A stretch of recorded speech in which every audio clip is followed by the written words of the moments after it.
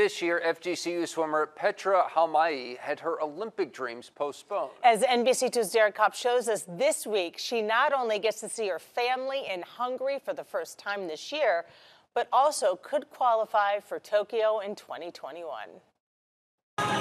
Nine months ago in March, senior FGCU swimmer Petra Halmai had her Olympic dreams turned into a nightmare. In the beginning, everything was like just why? Like why this happened? Why they canceled the Olympic. With the 2020 Summer Olympics in Tokyo put on hold due to the pandemic, Petra wasn't sure she would get this opportunity again. Maybe I'm done. Maybe that's it. Maybe this is a sign that I'm I don't know, I'm too old or something.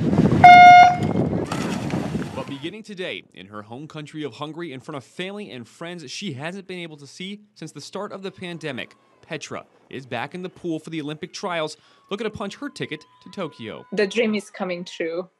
You know, like since I started to swim, and that was my goal. Once um, I, I want to be at the Olympic. This year has been an emotional roller coaster for Petra, but she has never lost sight of that goal competing at FGCU and over the summer hitting a time that if she could repeat it would give her one of only 16 spots on the team and turn her dream into reality. I just I try to be uh, stay positive and I just like I'm ready to go.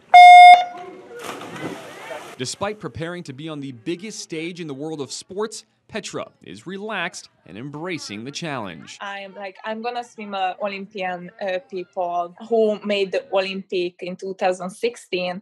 So they have something to lose. I can just win. Petra will swim the 50, 100, and 200 breaststroke, the 50 fly, and two medley relays from today until Saturday.